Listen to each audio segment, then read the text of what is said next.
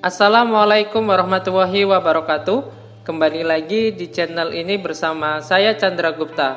Pada kesempatan video kali ini, kita akan membahas soal tes masuk Polri untuk materi matematika dasar tahun 2022. Tetapi sebelum kita lanjutkan, simak video berikut ini.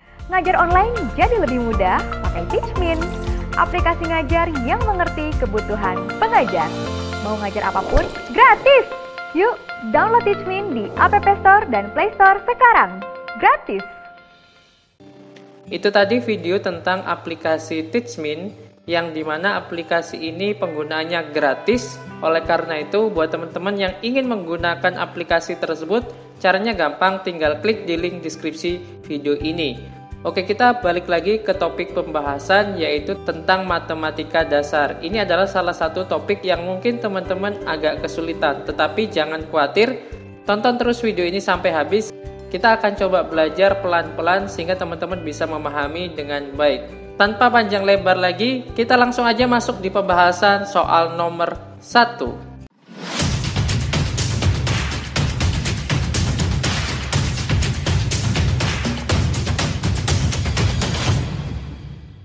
Soal nomor 1. 27 ditambah 34 kuadrat dikurang 235. Oke, pertama untuk mengerjakan soal campuran seperti ini, teman-teman ingat ya, teori atau metode ketika kita belajar waktu SD, SMP, dan SMA, kita kerjakan dulu yang ada di dalam kurung, baru dikurang.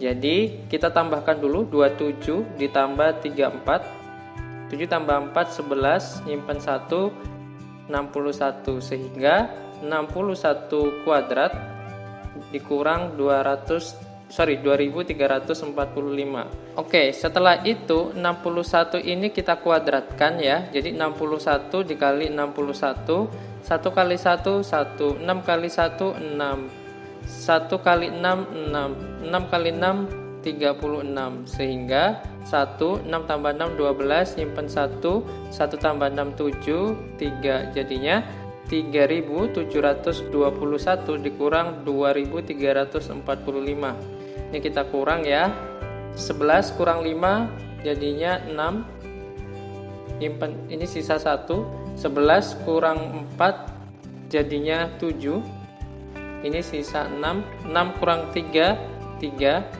3 kurang 2 1 jadi 1376 1376 sehingga jawabannya adalah C. Oke ini gampang aja ya.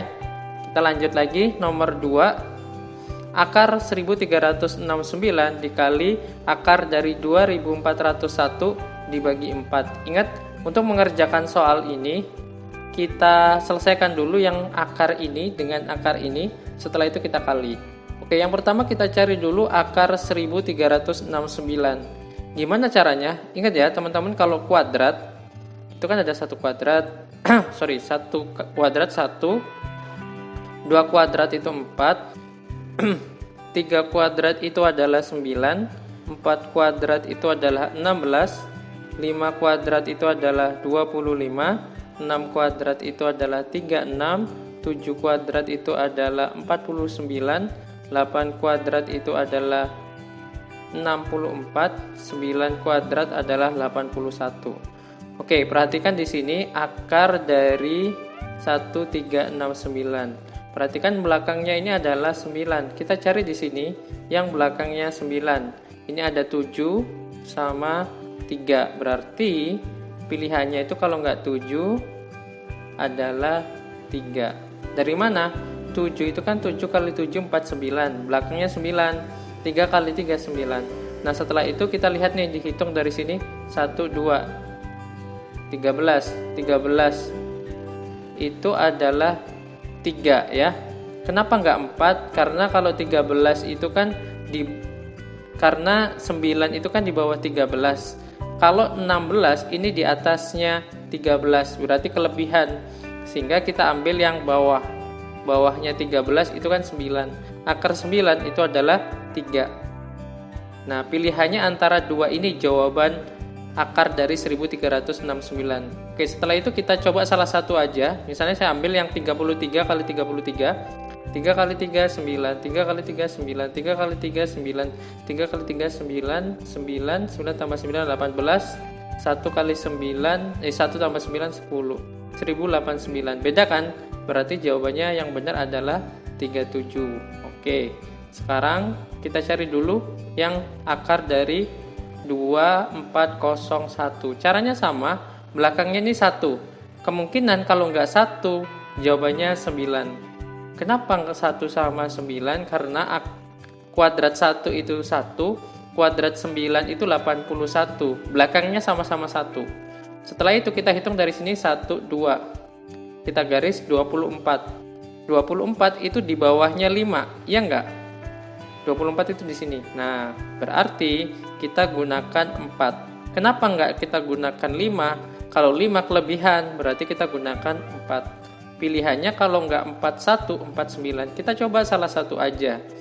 Satu kali satu satu. Empat kali satu empat. Satu kali empat empat. Empat kali empat enam belas. Satu. Empat tambah empat delapan. Enam satu. Satu enam delapan satu. Beda ya jawabannya sama ini sehingga yang jelas jawabannya adalah 49 oke? Nah setelah itu kita kali nih 37 kali 49 37 kali 49 kita kali dulu 37 kali 49 7 kali 9 berapa?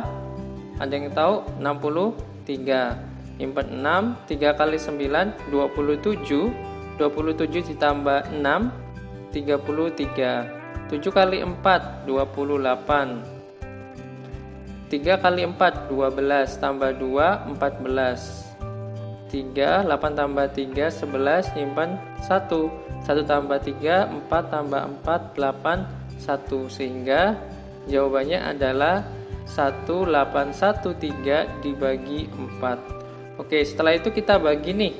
1813 kita bagi 4 18 bagi 4 4 4 kali 4 16 8 kurang 6 2 21 5 5 5 kali 4 20 21 kurang 21 3 nya turun. 13 bagi 4 3 3 kali 4 12 nyimpen eh, 3 kurang 2 1 1 bagi 4 nggak bisa berarti tanda koma. Kita kasih 0 10 bagi 4 2 oke 2 kali 4 8 10 kurang 8 2 kita tambah 0 lagi 20 bagi 4 5 5 kali 4 20 sehingga jawabannya adalah A 453,25 sama ya? Nah jadi caranya adalah kita cari akarnya dulu habis itu dikali setelah itu dibagi. Cara mencari akar kayak gini ya. Cara mencoba-cobanya. Oke?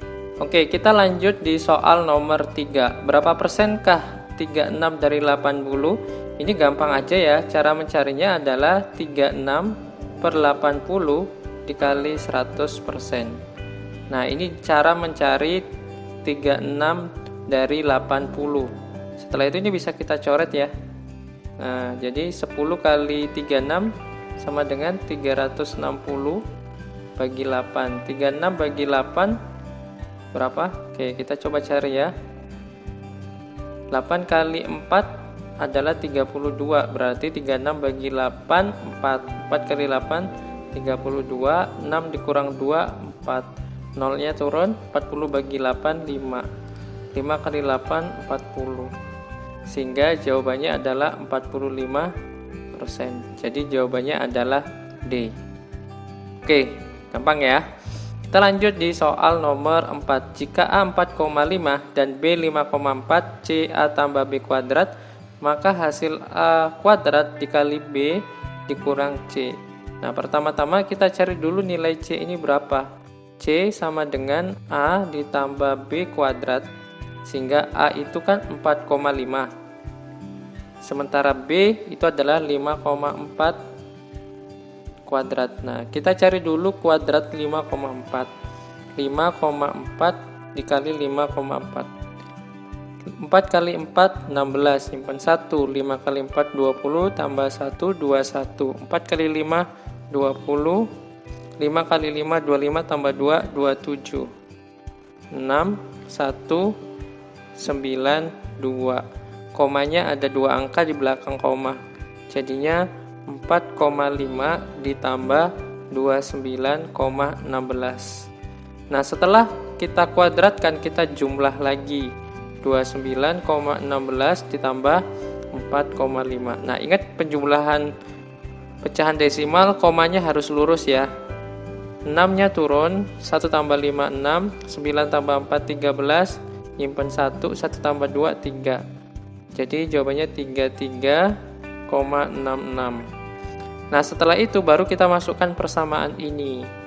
Jadi A kuadrat dikali B A kuadrat itu adalah 4,5 kuadrat dikali B sorry dikali B nya itu adalah 5,4 dikurang 33,66 nah kita kuadratin dulu setelah itu kita kali ini ya.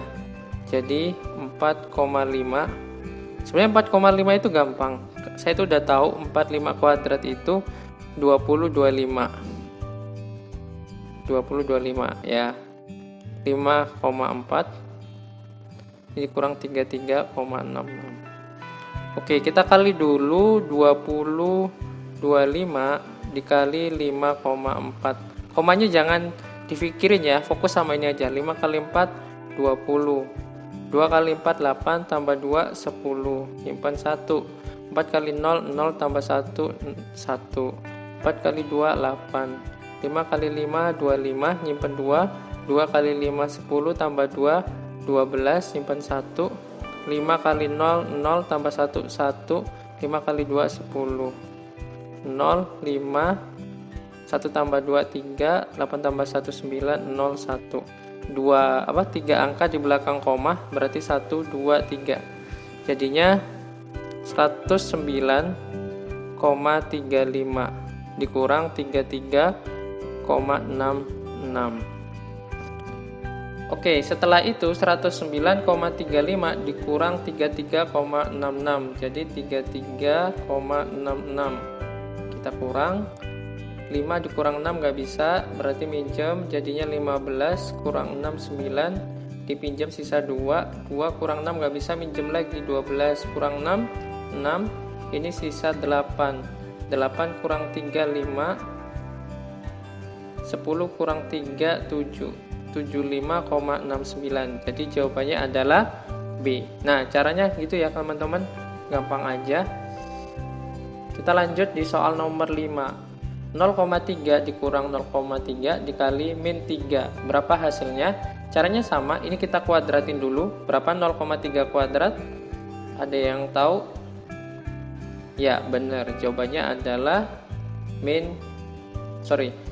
Jawabannya adalah 0,09 dikurang 0,3 habis itu dikali min 3 nah ingat ini kita kurang dulu ya. Cara ngurangnya gimana? Karena nilainya 0,09 ini lebih kecil dibanding 0,3 maka ini hasilnya pasti negatif.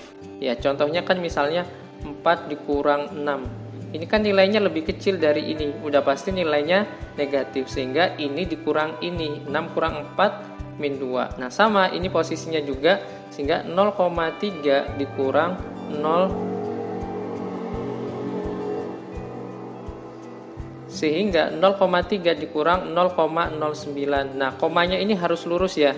Ingat ya kalau pengurangan desimal atau penjumlahan ini harus lurus. Nah ini kan nggak ada nilainya kita anggap 0 0 dikurang 9 nggak bisa. Berarti minjem.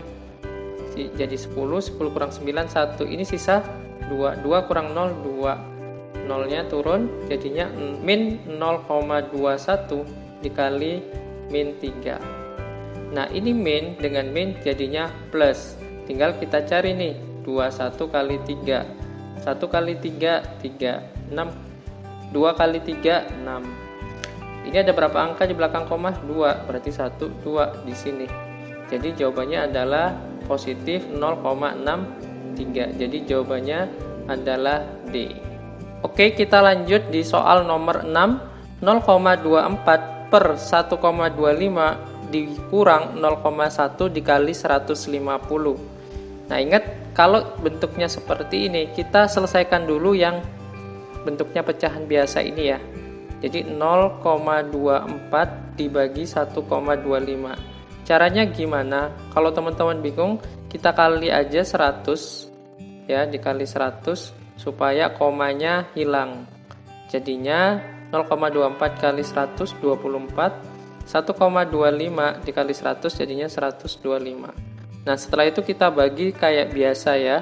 24 dibagi 125 ini dibagi ini jelas nggak bisa sehingga kita tambahin 0 aturannya di sini tambah 0, 240 dibagi 125 1 1 dikali 125 tetap 125 10 dikurang 5 5 ya minjem.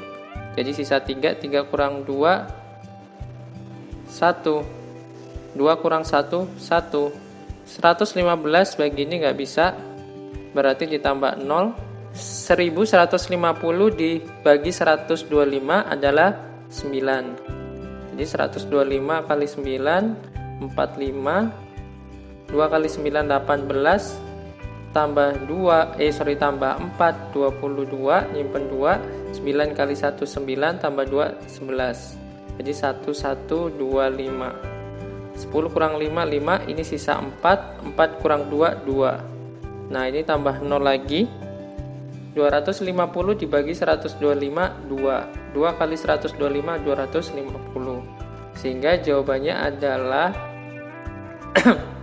0,192 dikurang 0,1 setelah itu dikali 150 kita kurangin dulu ya caranya sama 192 komanya harus lurus ya.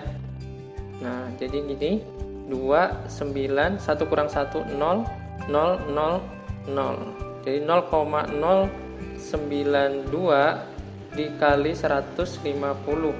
Kita kali dulu 92 kali 15 2 kali 5 10 nyimpen 1 5 kali 9 45 ditambah 1 46 2 kali 1 2 9 kali 1 9 0 6 tambah 2 8 4 tambah 9 berapa? 13 Oke, kita tahu tadi ada nolnya ini ya.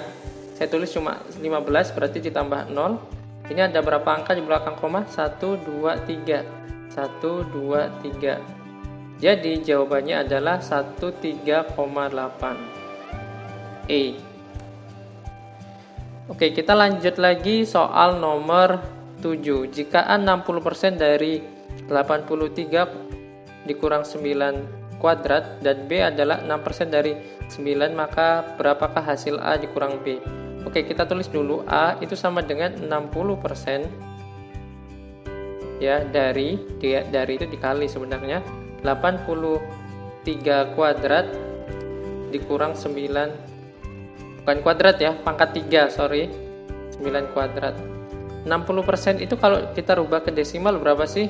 0,6 karena 60% itu sama dengan 60 per 100 jadi 6 per 10 itu 0,6 oke 8 pangkat 3 ada yang tahu nggak? 8 kali 8 64 64 kali 8 32 8 kali 6 48 tambah 3 51 jadi 512 dikurang 81 81 2 kurang 1 2 kurang 1 1 1 kurang 8 nggak bisa berarti pinjam 11 11 kurang 8 3 ini sisa 4 4 jadi 0,6 dikali 4 3 1 Oke setelah itu kita kali 1 kali 6 6 6 kali 3 18 nyimpen 1 6 kali 4 25 tambah 1 2, 6 kali 4 24 ditambah 1 25 komanya ada satu jadinya 258,6 sekarang yang B caranya sama. 6% dari 9 pangkat 3 dikurang 8 kuadrat. Ini dibalik aja ya. 6% kalau dijadikan desimal 0,6 ya. 9 pangkat 3 ada yang tahu nggak 9 pangkat 3 itu berapa? 9 kali 9 81 81 kali 9 9 9 kali 8 72 jadi 729 dikurang 64 729 dikurang 64 9 kurang 4 5 2 kurang 6 nggak bisa minjem jadi 12 kurang 6 tetap 6 ini sisa 6 665 berarti 0,06 dikali 665 oke kita kali 6 ya. 5 kali 6 30 6 kali 6 36 tambah 3 39 6 kali 6 36 tambah 3 39 oke ini ada berapa angka di belakang koma? 2 jadi 1 2 39,9 sehingga A dikurang B. Jadi 256,6 dikurang 39,9 Oke, setelah itu 256 256,6 dikurang 39,9. Ingat, kalau pengurangan desimal komanya harus lurus. 6 kurang 9 itu nggak bisa berarti pinjam 16 16 dikurang 9 adalah 7 6 kurang 9 eh sorry ini sisa 5 ya. 5 kurang 9 nggak bisa pinjamnya 15 15 dikurang 9 adalah 15 dikurang 9 berarti sisa 6 ini sisa 4 4 kurang 3 1 2 21,6,7 ternyata nggak ada. Mungkin ada kesalahan. Oh iya di sini ya. Salahnya di sini. Harusnya kan 258 bukan 256 ini salah tulis. Jadi kita rubah lagi nih. Karena ada kesalahan penulisan. 258,6 dikurang 39,9 6 dikurang 9 nggak bisa. 16 kurang 9 7 nih ini pinjam sisa 7 ya. 7 kurang 9 nggak bisa. Jadinya 17 17 dikurang 9 8 oke. Ini dipinjam sisa 4 ya. 4 kurang 3 1 2 jadi jawabannya adalah C benar ya 218,7 nah mungkin salahnya di sini tadi salah penulisan saja sehingga caranya udah benar dan hasilnya sama benar ya Oke kita lanjut lagi soal nomor 6 Nah ini kelihatannya sulit ya Tapi kita kerjanya pelan-pelan aja Caranya gimana? Kita selesaikan dulu yang di dalam kurung ya. Jadi dimulai dari 1 per 3 dikali 864. Ini tinggal dibagi aja dengan 3. Jadi 864 dibagi 3. 8 dibagi 3 jawabannya 2. 2 kali 3 6. 8 kurang 6 2. 6 nya turun. 26 bagi 3 26 bagi 3 8. 8 kali 3 24. 6 dikurang 4 2 2 bagi 3 eh sorry 4 nya turun 24 bagi 3 8 8 kali 3 24 jadi jawabannya adalah 288 oke sekarang yang ini 1 per 4 kali 648 kita bagi dulu. 648 dibagi 4 6 bagi 4 1 1 kali 4 4 6 kurang 4 2 4 nya turun 24 bagi 4 6 6 kali 4 24 8 bagi 4 2 2 kali 4 8 jadinya 162 terus 1 per 5 dikali 4 6 8 oke kita bagi lagi. 4 6 8 dibagi 5 4 bagi 5 nggak bisa jadinya 46 bagi 5 9 9 kali 5 45 18 18 bagi 5 3 3 kali 5 15 3 30 kita kasih koma. 6 6 kali 5 30 sehingga 93,6 nah setelah itu kita kurang nih 288 dikurang 162 dikurang 93,6 satu-satu aja supaya teman-teman lebih mudah. 162 8 kurang 2 6 8 kurang 6 2 2 kurang 1 1 Oke setelah itu kita kurang. 126 dikurang 93,6 ini kan gak ada nih kita tulis 0 anggap aja 0 0 kurang 6 gak bisa minjem jadinya 10 10 dikurang 6 4 ini sisa 5 5 kurang 3 2 2 kurang 9 gak bisa minjem 12 kurang 9 3 jadi jawabannya adalah B 32,4 Oke kita lanjut di soal nomor 9 ya Oke, nomor 9. Ingat ya, kita kerjain dulu yang di dalam kurung. Pertama kita kerjain dulu yang ini. 3, 3 per 4 dikali 20. Ini kita jadikan pecahan biasa dulu. Jadinya 4 kali 3, 12. Tambah 3, 15 per 4 kali 20. Ini kita bagi ya. 20 bagi 4, 5. Setelah itu kita kali 15 kali 5, 75. Oke, sekarang kita cari yang ini nih. 112,5 dibagi 2 1 per 4 Oke kita bagi 112,5 2 seperempat itu berapa sih? 2,25 ya. Nah kita bagi caranya gimana? Kita kali 100 aja supaya lebih mudah. Semuanya dikali 100 jadinya ini 11250 yang ini jadinya 225 Oke kita bagi satu satu sorry. Satu satu dua lima puluh dibagi dua dua lima oke. Ini kita bagi seribu seratus dua lima ini lima ya. Lima kali ini satu satu dua lima ini kosong. Nolnya sisa satu berarti masukkan ke sini. Jadi jawabannya adalah 50 sehingga 0,25 dikali 75 dikurang 50 nah setelah itu kita kurang dulu. Jadi 0,25 dikali 25 75 kurang 50 kan 25 oke 25 kali 25 itu sebenarnya 625 komanya di sini ya dua angka. Berarti jawabannya adalah A. Oke, kita lanjut nomor 10 56% dikali 35 dikurang 35% dikali 56. Oke, ini ada triknya untuk mengerjakan soal ini. Kenapa? Karena ini sebenarnya angkanya sama, cuma dibalik. Ini 56%, ini 56, ini 35, ini 35%. Ya kan? Sebenarnya bolak-balik kan ini dengan ini. Sehingga ini hasilnya kalau bolak-balik itu pasti satu, yang sebelah sini juga satu. Sehingga 1 kurang 1, 0. Jawabannya C. Jadi ingat ya teman-teman, kalau ada bentuknya dibolak-balik kayak gini, dikali 35, 35% dikali 56, itu pasti hasilnya 1. Ini sudah sering soal seperti ini. Jadi tinggal dikurang aja, jawabannya 0. Oke, itu tadi 10 soal tentang materi matematika dasar karena banyak teman-teman yang request untuk mengerjakan soal matematika.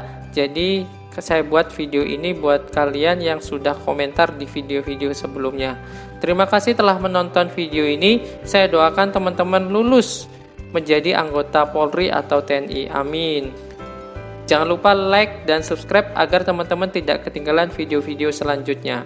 Oke, sampai jumpa di video selanjutnya. Assalamualaikum warahmatullahi wabarakatuh.